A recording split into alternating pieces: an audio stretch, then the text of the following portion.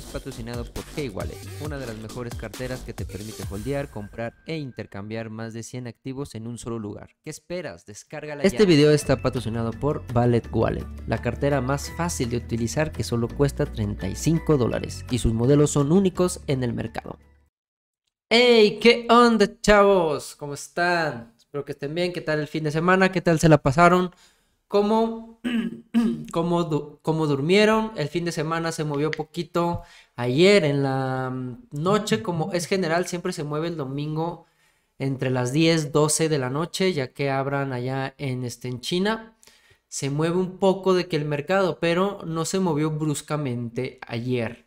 Y pues estamos a la espera de, obviamente, todo cuando sale a hablar la Fed sobre las tasas de interés, obviamente hay volatilidad en el mercado y eso muy probablemente lo vamos a ver a partir de mañana y quizás también el miércoles. Los dos días va a haber parte de volatilidad para, como ya sabemos, pues cree incertidumbre cuánto lo va a subir, si van a ser menos agresivos ante las tasas de interés, si van a ser más agresivos.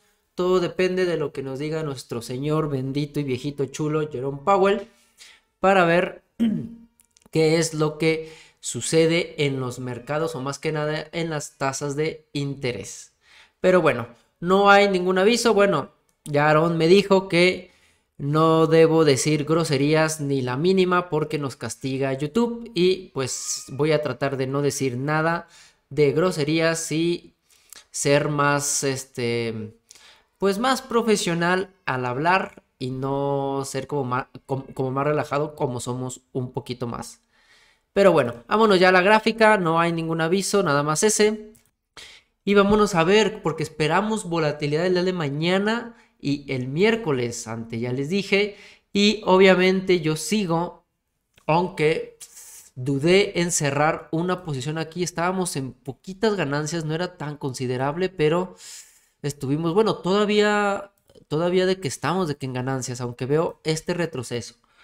Vamos a, bueno, me voy a mantener porque yo entré promediadamente, bueno, nuestra primera entrada fue en los 17.300 en short obviamente y nos agarramos esta bajada. No sacamos ganancias porque yo lo esperaba un poquito mínimo a los 16.700 por esta zona.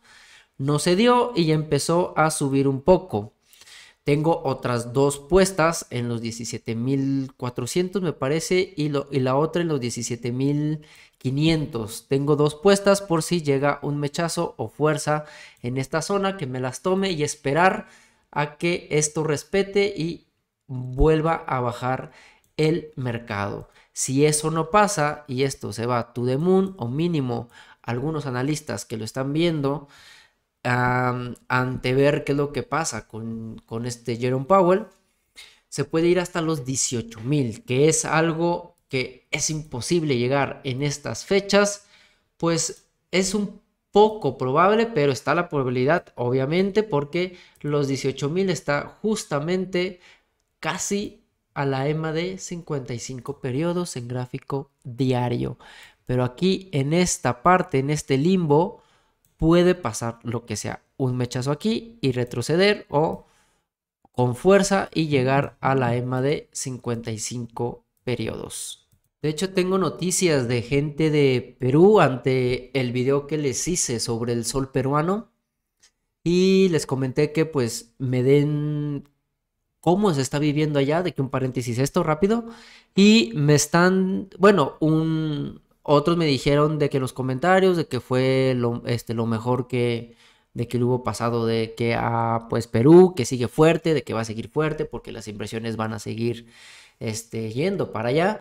Pero otros, como este chavo, que es Gutomont, que me contactó por, por Telegram, saludos si ves mi video, que me está comentando, de hecho, que los golpistas o los o la oposición o lo como lo quieran llamar, dicen que están, que están invitando a la Fuerza Naval, o sea, la de Estados Unidos, para que ingrese al Perú. Dice que teme que pueda suceder un tipo Siria en esa parte. No sé si se da esa noticia oficialmente, o sea, si la invitación se hace oficial, Aaron obviamente lo va a tener en nuestro canal y lo va a estar informando más a detalle. Pero estamos al pendiente con lo que está pasando ahorita con este Perú, con otros hermanos peruanos y pues ver qué es lo que pasa. ojalá que no sea como lo están pintando de que algunos y que pues no suceda nada nada grave como tipo Siria, por así decirlo, pero bueno, de hecho, ahorita voy a ver cómo sigue el sol de Perú, ¿ok? Entonces, en gráfico diario, sí puede llegar. Y para mí, aquí va a tener otro retroceso. O sea, mi escenario para el siguiente trading que yo estoy haciendo o para el siguiente trade es en esta parte que me agarre en short, porque si me lo respeta, o con un mechazo, que no fue la gran cosa, lo que dijo Jerome Powell, entonces se enfrían este, los mercados y va a retroceder en una tendencia obviamente que seguimos bajista en semanal en gráfico diario. Si traspasa porque agarra FOMO o por X razón, que me saque con, con mínimas pérdidas y ahora sí buscar cerca los 18 mil dólares para entrar nuevamente en short. Aquí me pueden preguntar, ¿y por qué no te vas en long? ¿Por qué no te la juegas? Y que no sé qué. Yo opero tendencialmente. O sea, yo me voy a las resistencias o a los soportes más fuertes para mi análisis y para mi, y para mi estrategia. Ante eso yo opero. Si aquí Bitcoin me hubiera llegado casi a los 16 mil y tantos, yo ya estuviera en long, obviamente sin pensarlo porque ya me voy a lo más seguro. Entonces opero con, o sea, del, del 100% de mi capital que es para hacer trading, cada entrada ya la estoy poniendo cada una con el 20% de mi capital. Entonces estas tres entradas van a ser el 60%. Y Obviamente con un stop loss bien definido por si agarra fuerza y traspasa esas resistencias que me saque con las mínimas pérdidas que se pueda y buscar otra vez resistencias mucho más altas. Ahora sí, vámonos a gráfico diario y así yo opero con gran con el capital de más del 60% escalonadamente en tres entradas máximo. Lo puedo variar entre 10, 15, 20 hasta el 30% en cada entrada que agarre el 20% de mi capital del, del 100%. Entonces por eso no me voy y le juego al de que al chido porque si le juego a que soy el gurú, pues aquí me saca o si no pongo un stop loss, pues las pérdidas son mucho mayores del casi 60% de mi capital, o sea, grandes. Por eso hay que tener bien definido y no le tengan miedo al stop loss como nos tocó en la iconcito porque estábamos en long, de hecho, estábamos aquí en esta resistencia en los 77 dólares, 76 cachito, estábamos en long por si lo respetaba y sacar ganancias cerca de los 83, 80 dólares. Pero ¿qué pasó el día de ayer? Se movió hacia la baja, nos sacó el stop loss con unas pérdidas no tan considerables, leves, porque no sabíamos si esto iba a bajar hasta los 70 dólares. Y ahorita, y no sabemos si esto lo va a superar o retroceder. Yo soy un poco bullish en Icon por el pre-halving que tiene el siguiente año. Y eso ya, ya, ya los había dicho. Espérenme de qué momento. Listo, perdón.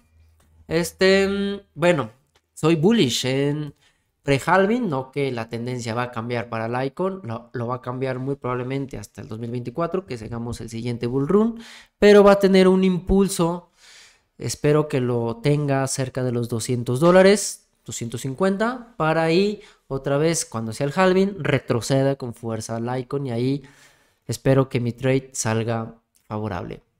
Vámonos a Ethereum que está teniendo, todo está teniendo de que un impulso, casi la mayoría, no tan fuerte, pero, pero lo está teniendo obviamente por todo lo que se espera el día de mañana y el miércoles. Y vamos a ver, vamos a ver, creo que es el miércoles, creo que es el 14, creo que es el 14 la de los, si no mal recuerdo, porque no tengo la fecha exacta.